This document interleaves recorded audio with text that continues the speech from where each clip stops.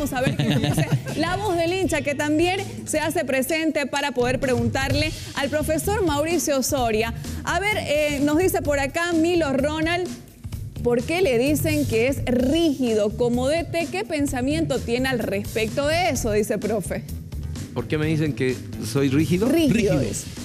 Eh, bueno, yo creo que es porque a mí me gusta primero el orden, la limpieza y la puntualidad que creo que son las bases de la, disciplina, pues, ¿no? O sea, si uno tiene un lugar eh, bien ordenado o sus, ideas o, lo que va a ser bien ordenado, si uno tiene un lugar bien limpiecito, bien prolijo, y si es puntual para hacer todas las cosas, creo que va yendo bien, digamos. Entonces, eh, eh, lamentablemente a mí me desacomoda mucho que hayan jugadores o gente que no esté del mismo modo tratando de llevar para adelante las cosas.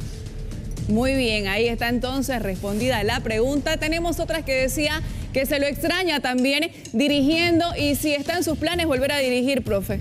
Sí, claro, vamos a intentar dirigir. Por ahora todavía estoy con algún problema familiar que tengo que atender.